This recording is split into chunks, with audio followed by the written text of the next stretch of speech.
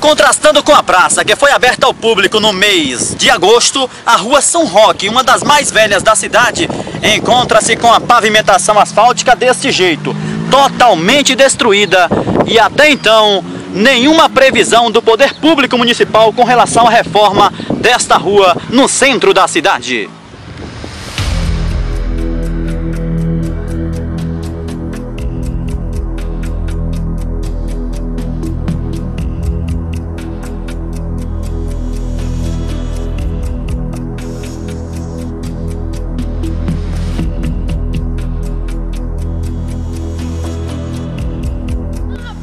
Problemas enfrentados em todo o Brasil é a má qualidade do material utilizado nas obras públicas. Em São Miguel das Matas, a Praça São Roque, que foi aberta em agosto deste ano, encontra-se desse jeito. As lajotas já estão se soltando, dinheiro público que vai pelo ralo.